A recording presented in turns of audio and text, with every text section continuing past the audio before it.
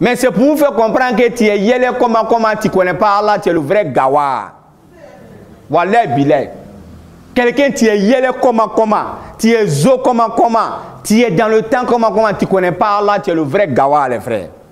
Parce que Allah subhanahu wa ta'ala, si tu veux, il faut être un guerrier, il faut être un titan, il faut être un dur, il faut être un champion, il faut être le las des là-bas des las. Wallah bilay. Il va envoyer l'âne de la mort. Hey, subhanallah. Non, Allah me plaît trop, les frères.